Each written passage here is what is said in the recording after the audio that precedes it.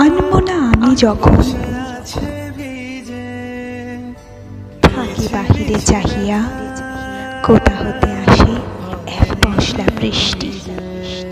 আকাশে ভেদিয়া জানালার সারশিতে চোখ চলে যায় হালকা স্পর্শ দেহে শিহরণ জাগায়। মৃদুমন্দ বাতাসে তোমারই আলিঙ্গনে পুলকিত মন, চুম্বনে রাঙানো এ মোর আখি, কম্পিত ঠোঁটে বলে তোমায় ভালোবাসি।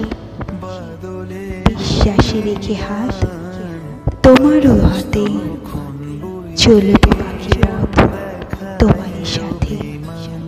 যদি করো অবহেলা মরে, যেন তবে তোমারও পতন হবে কবি সমুদ্র শরীরে কবিতা আনব না আমি যখন কণ্ঠ ভিডিও এডিটিং কল্পনা, মাধুরী মণ্ডল, কেমন লাগল জানাতে